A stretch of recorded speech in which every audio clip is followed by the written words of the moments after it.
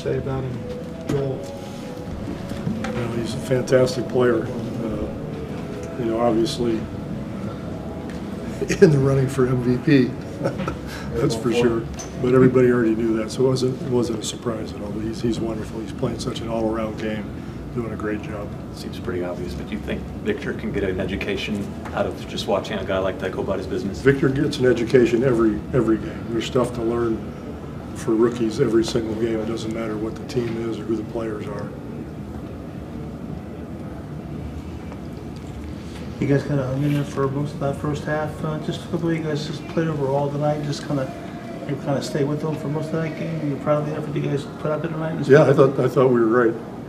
Uh, You know, we're, we're playing a team that is trying to win a championship, but it's wonderful for our guys to see, you know, what has to take place. And uh, we get everything that we were able to give. So uh, that's all, well, it's not all, but that's the most important part, that you keep playing keep playing keep learning. Uh, And, you know, obviously, we're not going to be able to uh, play these guys the way we would play if we were also a championship ball club. But given the fact that these guys are just learning uh, how to play with each other and uh, as young as they are, uh, I gotta love what they did out there. Might this have been the last minutes restriction night?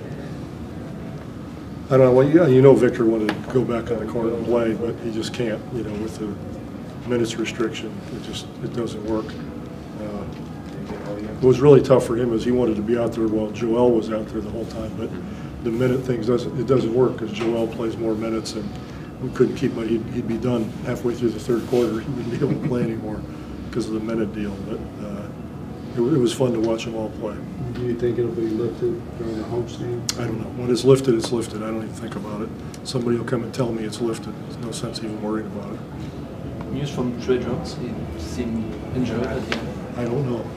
Uh, I hope not, because he's very, very important to us, more than most people would expect. Uh, But, you know, he's, he's the heart and soul out there as far as keeping us together and showing the grit, you know, night after night after night. So hopefully he's not hurt for us. You know, that would be tough. The guy getting minutes behind him now is Blake Wesley. Have you like seeing how he's responded to that? Yeah, he's been very physical and uh, been very aggressive, you know, finding people at the offensive end and getting into people at the defensive end. So I like the way he's been playing. Thank you. Thank you. All right.